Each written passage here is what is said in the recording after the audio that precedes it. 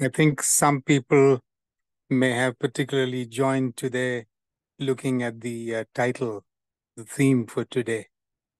And let me at the outset uh, say this.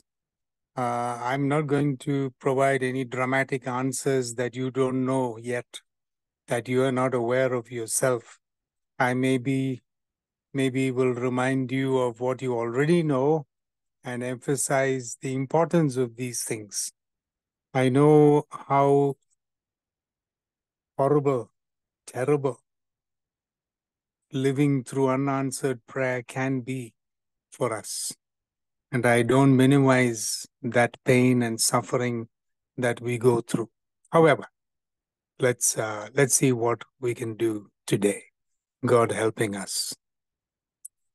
I'd like to begin by um, um, relating uh, an illustration. You know, in the 1980s and 1990s, there used to be a daily comic strip that appeared in many newspapers, not only in our country, but all over the world, especially in Europe, called Calvin and Hobbes. Some of you will know that well Calvin and Hobbes. and um, I want to highlight one of them today. You know, it's a comic strip. So it's late November, somewhere in the United States. And a little um, boy is waiting with his sled, sledge for the first big snowfall. So he waits and he waits, but all he finds is brown grass on the ground, no snow. So the next frame shows him, he looks to the heavens and he says, on count of three, ready? One, two, three. Snow. Nothing happens. And the little boy is downcast. Then he shouts to the heavens, I said, snow. Come on, snow. Then, shaking his fists he cries out, Snow! Thoroughly disgusted with God's failure, he says, Okay, then, don't snow. What do I care? But but his um, defiance does not last. In the next frame, we see the little boy on his knees offering this prayer. Please, snow. Please, just a foot. Okay, eight inches. That's all. Come on. Six inches even. How about just six? And then he looks to the heavens and he shouts at the top of his voice, I'm waiting. In the next frame, we see him running in a circle, head down, fists clenched, making a little boy sound, ah. That's not an English word, but every parent has heard it many times. Finally, the little boy lies down exhausted. And in the final frame, he looks up at God and he cries out in utter desperation Do you want me to become an atheist? many of us sometimes feel just like that little boy. Maybe we cried out to God, Do you want me to become an atheist? Some have. Most haven't, but they keep the pain inside, still believing as best as they can in a God who sometimes answers prayer and sometimes doesn't. Many of us carry hidden scars from the pain of prayers that were not answered. We don't talk about this problem very much. Many sincere, good, devout people secretly doubt that God answers prayer.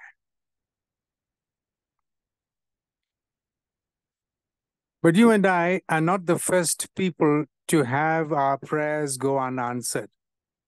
In fact, the Bible is filled with stories of men and women who prayed to God in the moment of crisis, and God did not answer their prayers. In 2 Corinthians chapter 12, Paul, if you have the time, please read 2 Corinthians 12.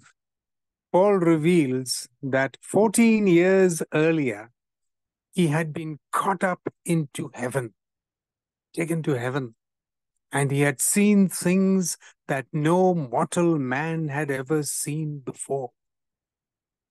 It was the greatest experience of his life, and he never forgot what it was like.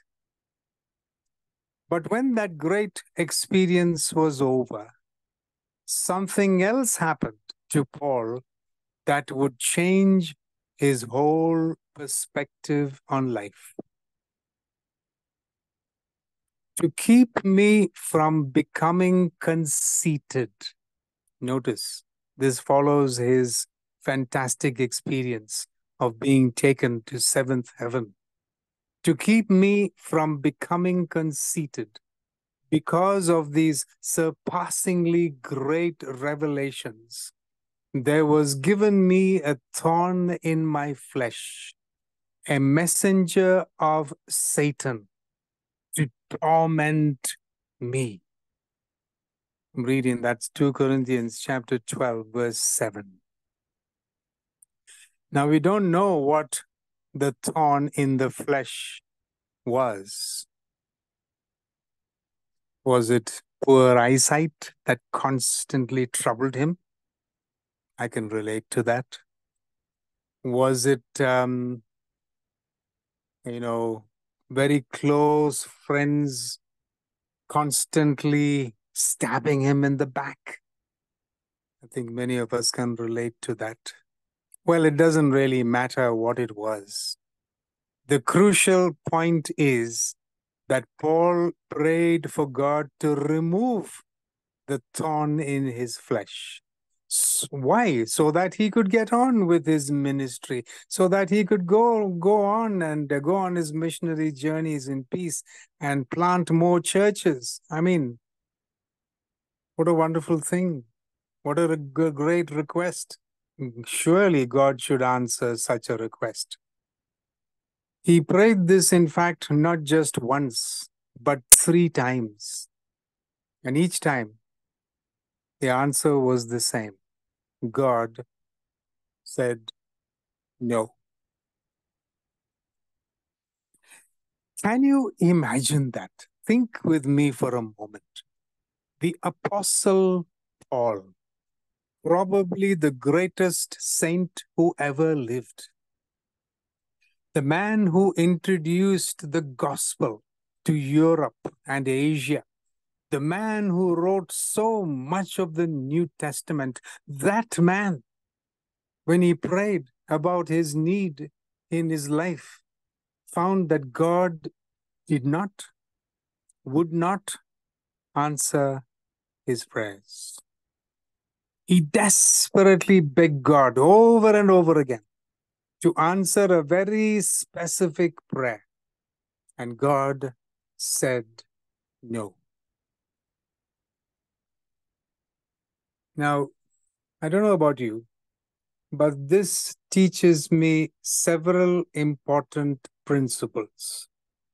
I know you shouldn't take, uh, you know, bedrock principles from one, a few verses. Suppose we should compare this with the rest of the Bible. But it seems very clear from this that we can say some things with some certainty. For example, we can say, unanswered prayer sometimes happens to the very best of Christians. It is no respecter of persons. Even the greatest saints faced the issue of unanswered prayer.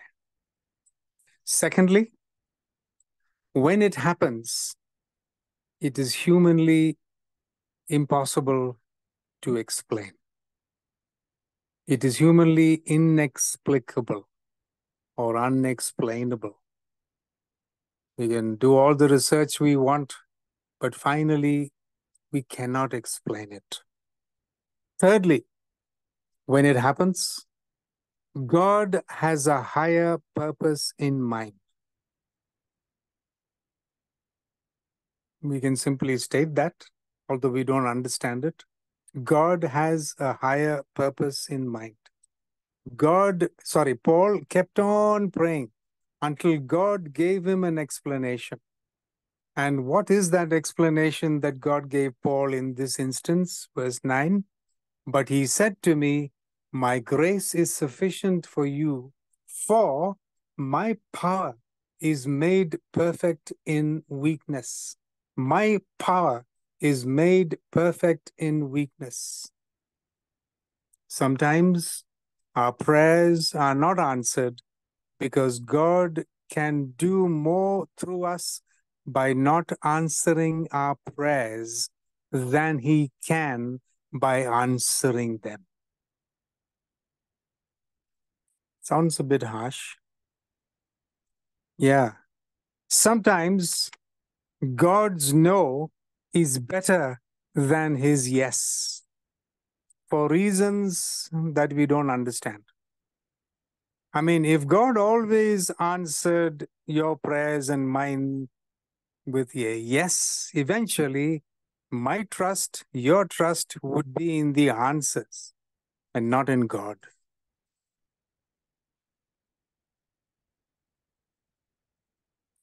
But when God says no, we are forced to decide whether we will still trust in God. Yeah. We face a crucial emergency kind of situation. Am I going to continue to trust in this God who is not answering my prayer? Won't he at least give me a sign? Won't he at least give me the benefit of answered prayer to lean on? Give me a little proof that he's listening to me. Unanswered prayer forces us to trust in God alone. And when we do, He alone gets the glory. For it is at that point that His strength is made perfect in our weakness. I challenge you to look at your life as I try to look at, look back on my life. And I realize, without a shadow of doubt, that my most concentrated times of spiritual growth came as a result of my trials, came as a result of the pain of unanswered prayer. We grow best in the darkness of pain, sadness, and despair. When we walk through that deep valley, when there is no light around us, all seems dark, when the walls around us seem tall and insurmountable, pain, sadness, despair, we learn many things in the best in the darkness. You know, we learn many things, of course, in the sunlight, but we grow best in the darkness. I came across the words of a soldier. Um, I think it must have been the Second World War, but listen to the words of what he wrote. I asked God for strength that I might achieve. I was made weak that I might learn humbly to obey. I asked for health that I might do greater things. I was given infirmity that I might do better things. I asked for riches that I might be happy.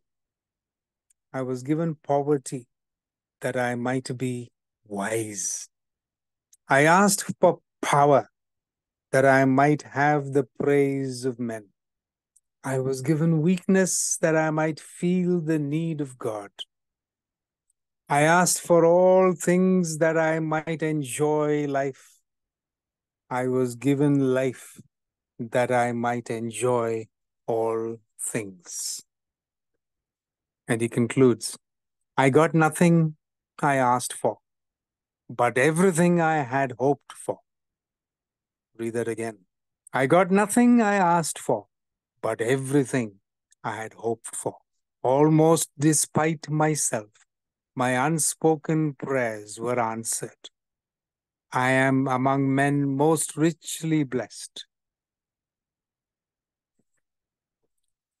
True godly Christian character is able to say, I got nothing I asked for, but I got everything I had hoped for. My unspoken prayers were answered. Sometimes our prayers will go unanswered, yes, and that is a fact. And unless I accept that fact, unless you admit that fact and deal with it with God's help, you will probably give up prayer altogether. I don't know how many of you are in this position at the moment, unanswered prayer. And you cannot take no for an answer. The Bible is so full of promises that God answers prayer. So why can't He answer my prayer? Sometimes our prayers will go unanswered. Have I accepted that? Have I really accepted that fact in my life, in my relationship with God? Until I do, until you do, you'll probably give up on prayer altogether.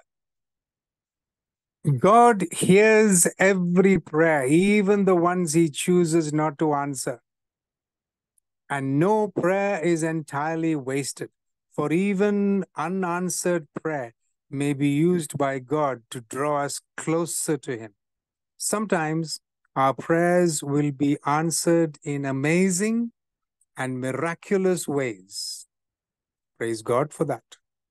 Some of you given testimony to that. But at other times, our prayers will not be answered at all. In conclusion, I ask the question What do you do when your prayers are not answered?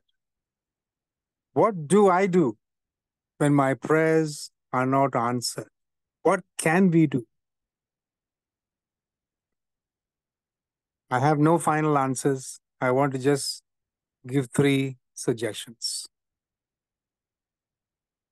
Firstly, when your prayers are not answered, keep on praying as long as you can. Sometimes God's answers are delayed for reasons beyond our knowledge.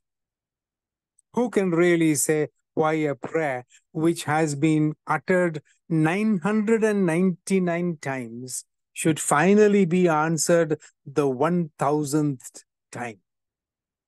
But sometimes it happens. So pray, pray, keep on praying. And as you pray, don't be ashamed to beg God for a miracle. Who knows? You may be surprised to find that in the end, after you've given up all hope, God has moved from heaven to answer your prayers in ways you never dreamed possible. Yes. So keep on praying as long as you can. A second suggestion, and a very important one give God the right to say no. Yes, you heard me right. Give God the right to say no. In the ultimate sense, of course, God already has that right, whether you acknowledge it or not. But if you never acknowledge that God has the right to say no to you, you will be filled with, with what? With anger, with frustration, with despair. You know, to fight against God's right to say no to you is really the same thing as fighting against God. And that's a battle you will never ever win. Give God the right to say no. How much wiser it is to say, Lord, I'm praying this prayer from the bottom of my heart.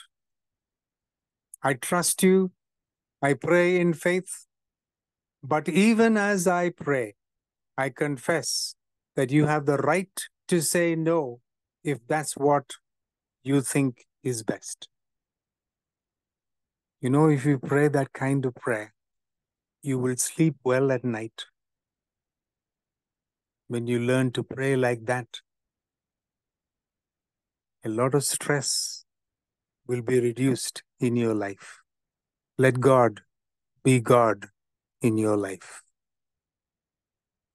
Nevertheless, not my will, but yours be done, Lord.